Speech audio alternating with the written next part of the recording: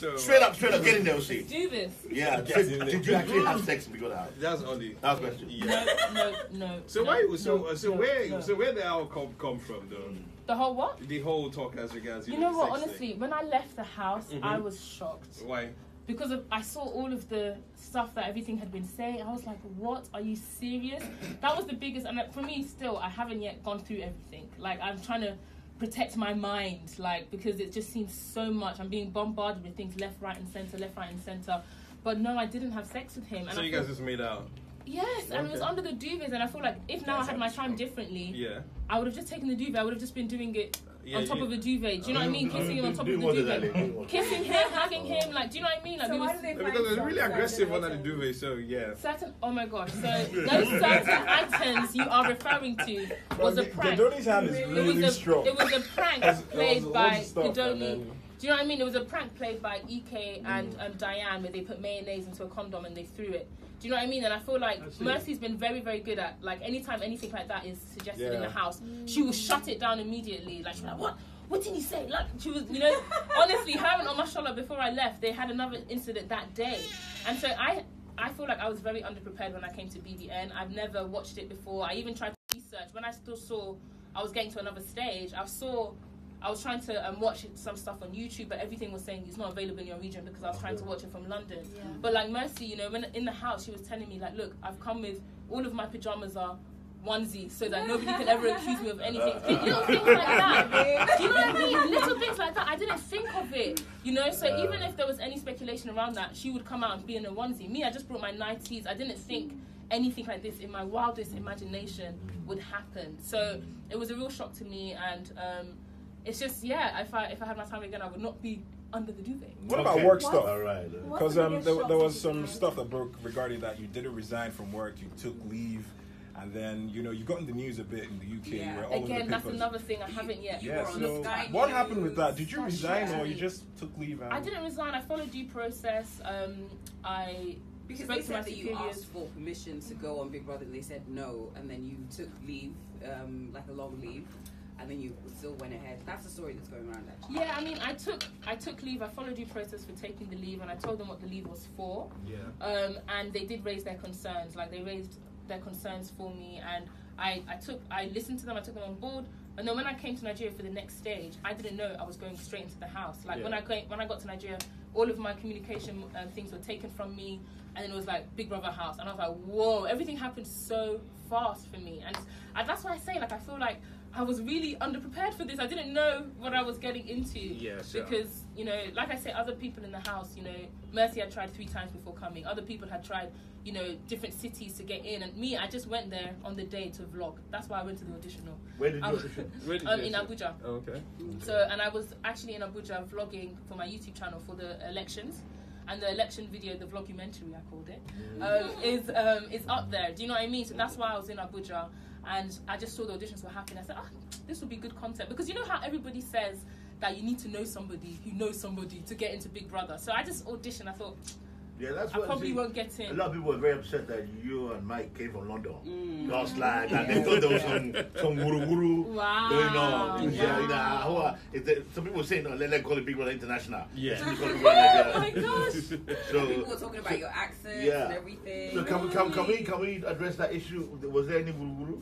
What does that mean? Was there any uh, any Dodgy. GBTYO? Any? Any dodgy? Any dodgy Not behavior? at all. I've You actually got free. like literally I will put on my YouTube channel, I will upload my vlog. Mm-hmm. It's only when I was getting to the when I got to the next stage, I even said, you know, please can I vlog this? Because I was vlogging everything up until that moment and they were like, No, you can't put anything out Mm-hmm. before this. So then I didn't I've still got the video, so I will edit that and put it on my YouTube channel, a cup of coffee because So you didn't get in through the back door, do No, and that's why I was so sure I wasn't even going to get in because I didn't know anybody.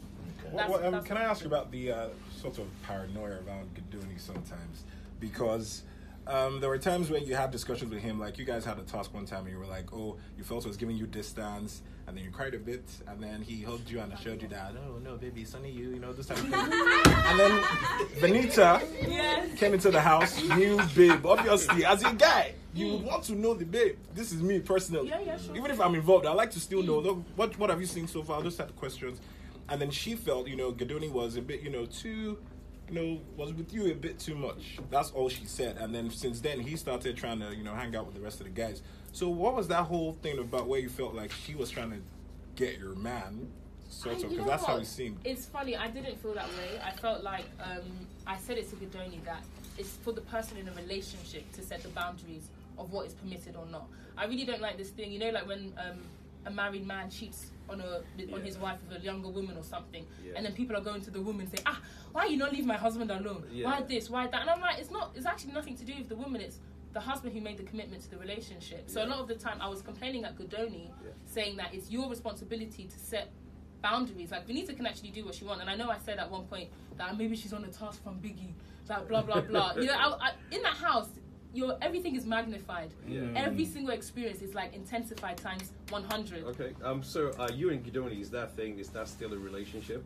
Is was that gonna- still I was going on? about to ask that. Yeah, you, that- so, do you, yeah. because you said, you know, a relationship, so do you consider what you have a serious relationship?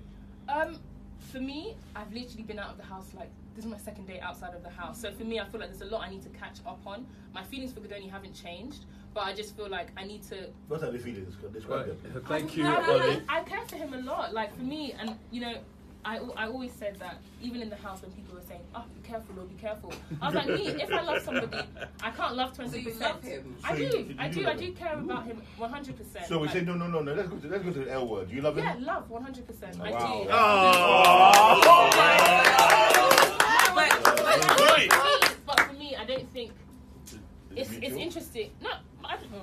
I'm not even. Have you spoken to him I, since I, leaving? I was actually going to say so for um, for a lot of women, um, Mm. including a lot of you know women in the public eye, Yeah. it was quite difficult watching certain points because Mm. it seemed like you were way more into him than he was into you, and Okay. things that the conversations that he would have with other people, Mm. it just kind of felt like you know he was looking at the whole situation like okay Yeah. I like her but I think she's like way more into me so Mm. it was quite do you, do you that, okay. he didn't say it Hey, wait, so- hey, hey, hold that guy. Yeah, so Hey. What I'm saying, what I'm saying is, So you have what to we spoil a happy saw- home. What we saw, what we saw, there were times that, and, and I think because every woman, um, including myself, Yeah. has been in that situation Mm. where you really like someone and you really want, you know, something amazing to happen, and then Mhm. later on you kind of find out that, you know what, you were probably a bit more into the person Mm. than they were into you. So, did you have people kind of told you that? People Yeah, said. people have said that, and again, You didn't say that, by the way. Yeah, no, no. For the That's record. what I'm It's too late literally now. I'm protecting my mental Yeah. space right now. Like I haven't even started to. Girl, you gave too into much. thing. Sorry. You know what? Fair enough. Fair Let me just enough. break it Like, for me, I am a very I'm like, passionate Khafi, stop it. person. Stop it. Like, Stop it. No. Yeah, I get it. I get it. I'm a really passionate person in like all areas of my life, and love is just another area where I am very passionate. And if I love you, I really care about. Like I go 100. Do you know what I mean? So.